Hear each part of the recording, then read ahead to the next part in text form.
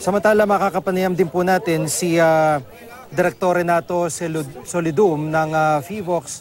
Uh, Director Solidum, magandang hapon po sa inyo. Magandang hapon din po sa inyo.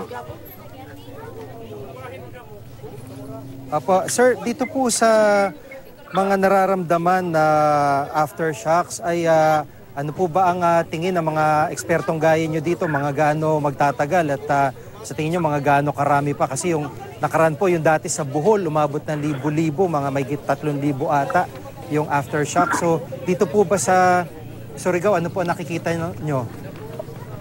Ah, sa kasalukuyan hanggang alas 4 po kanina, mayroon na tayo na ito lang 154 aftershocks.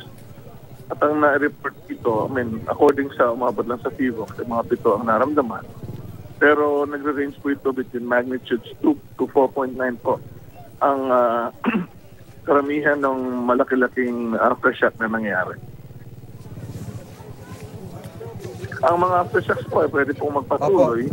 Kasi Ano, yung, yung araw, pangambangan hanggang ng mga yan. residente ay ah ah, syempre hindi bibiglaan kung mangyari yon pero sa tansya ho nyo, eh, gaano ho ito magtatagal para kung, kung meron ho kayong ah, impormasyon tungkol doon, ah, Director? Ang tagal po ng aftershock ay hindi po masasabi kung ilang eksaktong araw. Ang masasabi po natin ay mga araw hanggang mga linggo po yan.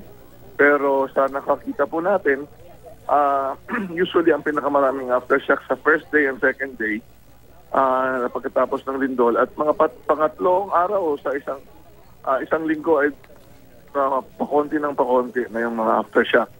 Ah, pero ah, minsan sumusulpot ah, ang ah, mga aftershock na mararamdaman kasi karamihan po ng aftershock ay hindi naman.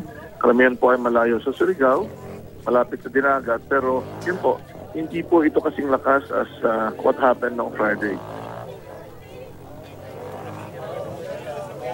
Opo.